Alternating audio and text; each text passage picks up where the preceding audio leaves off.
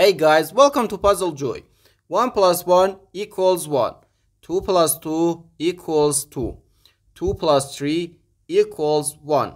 And 4 plus 4 equals question mark. Our goal is to find the pattern that exists here and calculate the missing number. Are you ready to solve? Let's go and get started.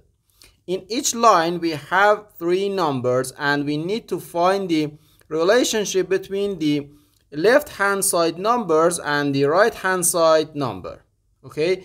In the first line we have 1 1 and 1 okay? 2 times 1 minus 1 equals 1 the right hand side number.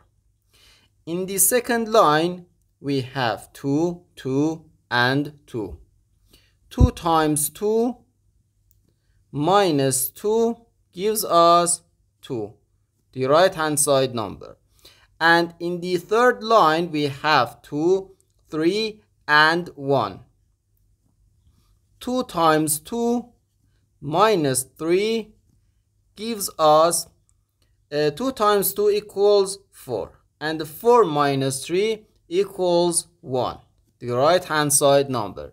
So therefore uh, the pattern that exists here is 2 times the first number of each line minus the second number equals the third number or the right hand side number. Now, let's apply this pattern to find the missing number. Okay, in the fourth line we have 4, 4 and question mark. 2 times the first number which is 4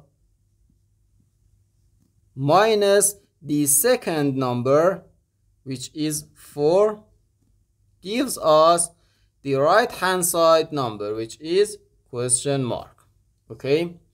2 times 4 equals 8 so 8 minus 4 equals question mark. And now 8 minus 4 is just 4. So 4 equals question mark.